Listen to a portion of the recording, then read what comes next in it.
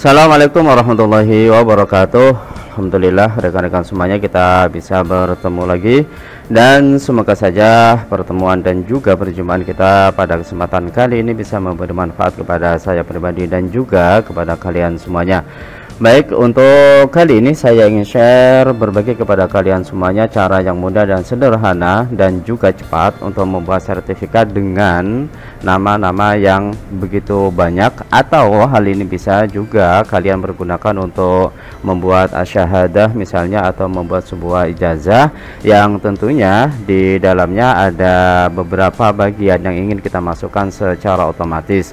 Dan sebagai contoh misalnya di sini ada dua bagian yang ingin saya masukkan di dalamnya yaitu bagian peserta dan yang kedua bagian nomor sertifikat yang kita keluarkan. Dan kalau kalian ingin menggunakan pola ini untuk membuat sebuah ijazah misalnya dengan menyertakan foto kalian juga bisa nanti mengganti ini dengan foto yang ada. Dan semuanya itu kita lakukan hanya dengan menggunakan Canva. Jadi all in kita menggunakan Canva dengan tanpa ada aplikasi yang lain.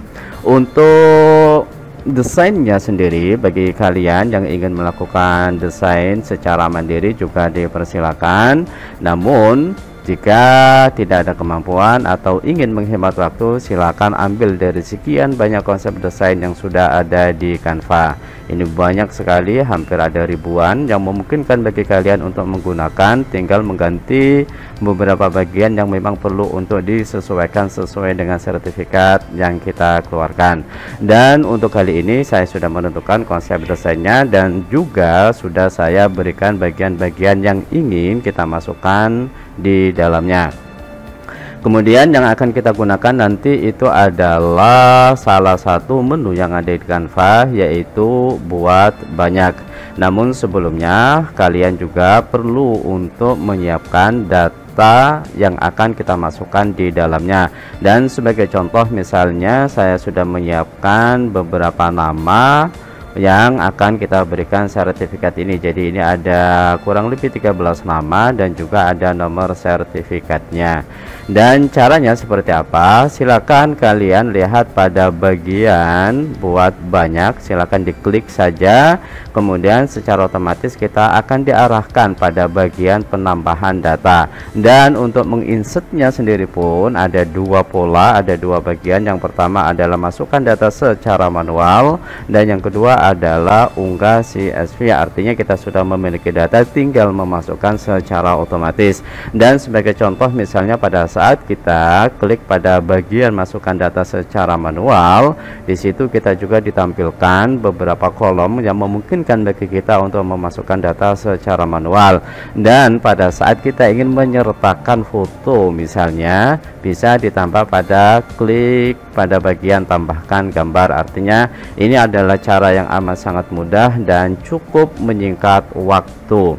Oke sekarang kita akan mencoba untuk mengimpor atau memasukkan uh, database yang sudah kita siapkan melalui unggah CSV silakan diklik.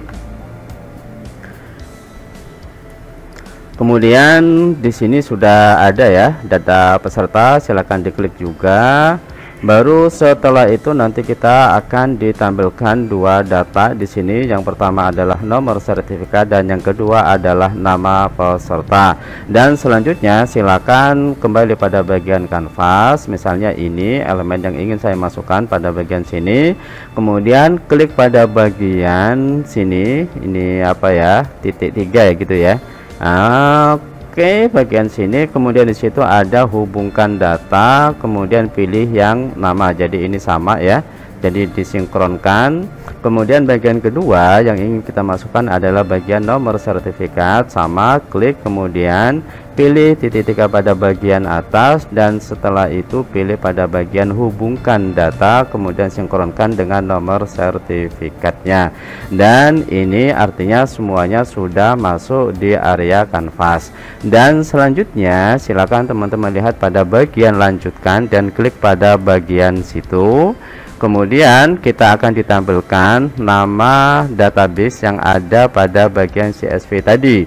Kemudian pilih pada bagian pilih semuanya. Atau jika memang ada beberapa orang yang tidak ingin kita masukkan berarti kita centeng salah satu di antara mereka yang tidak akan kita masukkan. Jadi ini saya pilih semuanya. Dan setelah itu silakan diklik pada buat 13 halaman dan nantinya kita akan diarahkan pada browser baru untuk melakukan dan mengenerate dari eh, nama-nama uh, yang ada dan dimasukkan ke dalam canvas atau ke dalam sertifikat yang sudah kita siapkan. Dan inilah hasilnya. Bisa kalian lihat sudah ada 13 halaman yang itu kalau kita lihat dari sisi nomor sertifikat juga sudah ada kemudian nama juga sudah ada dan kita coba lihat scroll ke bagian bawah sudah ada semuanya. Dan untuk selanjutnya silakan disimpan atau di print out kalau mau menyimpan tinggal klik pada bagian bagikan.